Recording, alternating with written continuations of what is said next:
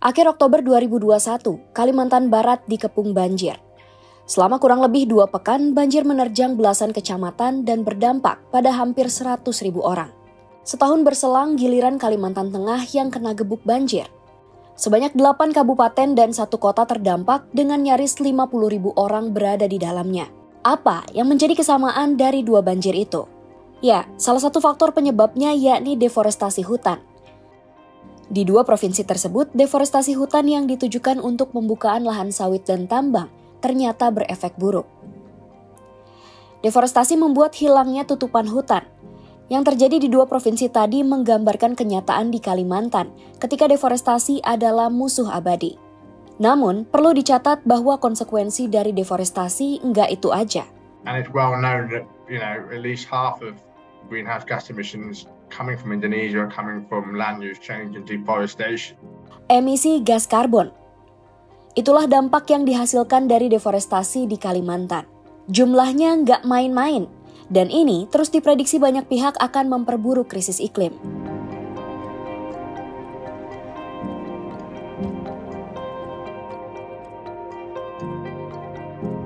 Narasi soal hutan di Kalimantan yang selama ini kita kenal adalah bahwa tempat ini dipenuhi pohon-pohon yang lebat. Manusia dan alam hidup berdampingan, membentuk satu ekosistem yang lestari. Tapi, ekosistem yang ideal itu berubah seiring waktu. Hutan Kalimantan lantas jadi ruang ekonomi menggiurkan untuk sejumlah pihak. Kombinasi antara pemerintah dan perusahaan-perusahaan kapitalis. Sebab menyimpan banyak sumber daya, upaya eksploitasi pun mulai dilakukan. Sebetulnya, eksploitasi hutan di Kalimantan dapat dilihat sejak masa kolonial. Meski begitu, ia baru menampakkan wajah paling culasnya saat Orde Baru berkuasa. Pada masa rezim Soeharto, hutan Kalimantan dikeruk habis-habisan. Pohon ditebang, kayunya diekspor ke berbagai negara. Beberapa regulasi dikeluarkan untuk mendukung geliat itu. Produknya berupa kontrak karya sampai konsensi, Karpet merah kepada investor asing digelar sepanjang mungkin. Catatan harian Kompas menyebut pada 1970, dari 13 juta hektar hutan di Kalimantan, sebagian besar telah jadi konsensi perusahaan kayu. Pada era 1970-an, kayu menjadi komoditas ekspor besar kedua setelah minyak. Beberapa negara tujuan ekspor di antaranya Jepang, Taiwan, hingga Korea Selatan. Geliat eksploitasi hutan di Kalimantan menguntungkan segelintir pihak saja, yang kelak mengantarkan mereka ke pucuk piramida. Belum selesai masalah pembalakan hutan untuk diambil kayu-kayu gelondongannya, eksploitasi di Kalimantan masih berlanjut dengan babak baru. Sawit dan pertambangan. Fase ini dimulai pada awal 1990-an dan bertahan sampai sekarang. Riset yang dipimpin David Gavu memperlihatkan perubahan hutan di Kalimantan selama empat dekade terakhir – ini hutan Kalimantan pada 1973. Warna hijau menandakan wilayah hutan. Sementara ini adalah hilangnya tutupan hutan selama 1973 sampai 2010 yang ditandai dengan warna merah. Kemudian ini ada proporsi hutan yang ada di Kalimantan pada 2010 yang masih menyandang predikat hutan utuh berpusat di tengah dan luasnya menyusut, terkepung oleh hutan produksi dan lahan perkebunan seperti sawit. Penelitian Gavo dan kawan-kawan memperlihatkan sekitar 30% dari total luas hutan tropis di Kalimantan hilang selama 1973 hingga 2010. Kalau dihitung-hitung lagi, luas hutan di Kalimantan yang rusak sepanjang periode itu ialah 123.941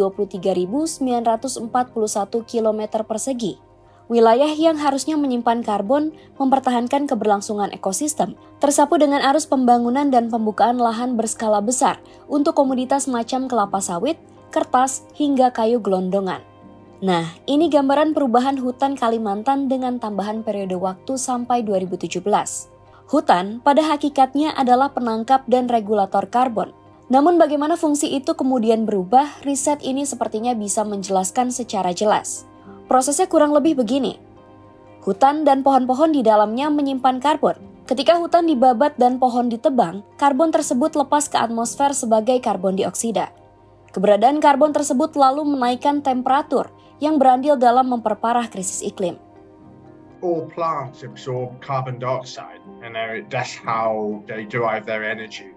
Um, the process of photosynthesis, you know, carbon dioxide comes in energy is created for plants to, to live and grow. Itu tadi Charles Palmer, akademisi dari LSI. Ia fokus pada isu deforestasi termasuk di Indonesia. And when you look at forests as a whole, you know, the more carbon emissions that are absorbed by biomass vegetation than is actually emitted makes it a, a net carbon sink. As soon as that process goes into reverse and more emissions are emitted than are absorbed, then it becomes a carbon source. That's basically it. So the transition from being a sink to a source usually happens when forests are opened up and start degrading. I mean, you know, it's very rare you get a case where a forest goes from being a forest to no forest, you know, complete deforestation. There's usually a process, a transition involved. And it's along that transition where you get this transition from being a, a sink to a source of carbon dioxide emissions. Deforestasi hutan tropis berkontribusi sekitar 20% dari total emisi gas rumah kaca. Indonesia sendiri menjadi negara ketiga penghasil emisi gas rumah kaca terbanyak karena deforestasi, setelah Amerika Serikat dan China. Bila ditarik ke lanskap yang lebih luas, hutan-hutan di Asia Tenggara memperlihatkan kecenderungan untuk menghasilkan emisi karbon lebih banyak, ketimbang menangkapnya selama 20 tahun terakhir. Studi menunjukkan kalau dari tiga hutan tropis terbesar di dunia, dari Amazon, Kongo, serta Asia Tenggara, hanya nama kedua yang secara perhitungan masih menyerap karbon. Efek deforestasi nggak berhenti sampai di situ. Ia menyumbang risiko kebakaran hutan yang nggak cuma menghasilkan emisi karbon, tapi juga gas metana yang 21 kali lebih beracun. Indonesia sepanjang 2002 ke 2021 kehilangan 28,6 MHA area berpohon. Kehilangan itu sama berarti dengan 19,6 GT emisi karbon wilayah Kalimantan jadi penyumbang terbesar. Sepanjang 2001 sampai 2021, Kalimantan Barat misalnya kehilangan 3,69 MHA area berpohon. Ini setara dengan 2,43 GT emisi karbon yang dihasilkan. Bergeser ke Kalimantan Selatan, area berpohon yang hilang pada periode yang sama mencapai 836 KHA atau sama dengan 491 MT emisi karbon. Di wilayah timur, area berpohon yang lenyap capai 3,55 MHA. Emisi karbon yang dikeluarkan yakni 2,48 GT. Terakhir, di tengah, area berpohon yang hilang sebesar 3,52 MHA. Emisi karbonnya sebanyak 2,28 GT.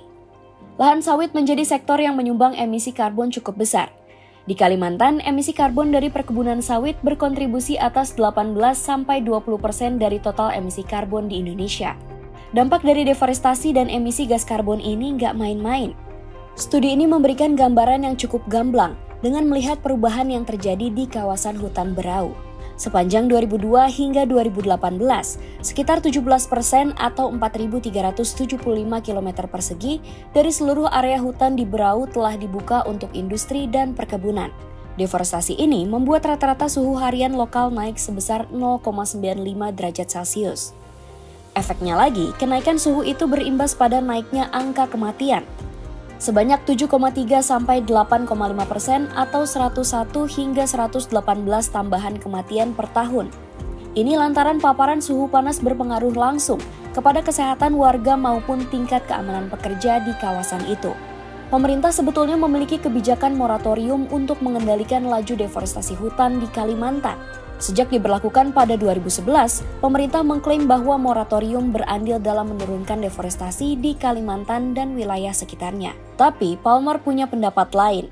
Forest moratorium is a great idea, but the question is what happens to the demand, demand for palm oil if you, you know, if you, if you ban it in one place, it's going to happen somewhere else, and that's kind of what we're, you know, this is what you expect to see, and that's exactly what happens. Um, but the fact the fact is that most of those areas, forests, were under relatively low pressure, meaning that at that point in time they were at no immediate risk of being deforested. So that's kind of explains why the impact, although there is an impact, is relatively small. There are other areas that are under much higher risk of deforestation.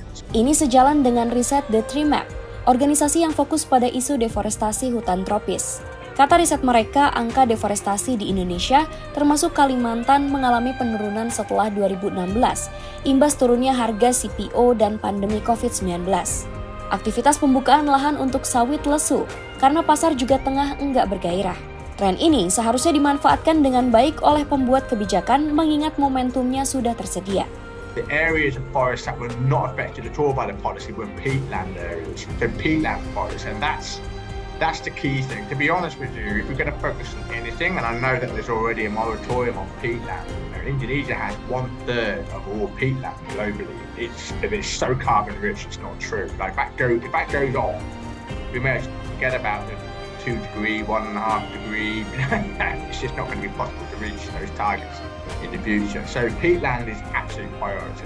Also, the, the commodity supply chain issue need to be addressed as well. I mean, there needs to be more moves to transitioning to you know more sustainable supply chain policy. Meski begitu, ancaman deforestasi tetap mengintai. Sejalan dengan upaya pembangunan infrastruktur yang tengah digencarkan pemerintah, seperti yang terjadi pada IKN Nusantara.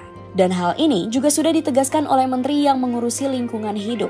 So once they've opened up, it does when you start building infrastructure, ports, roads, bridges, that's when the process accelerates. You start to get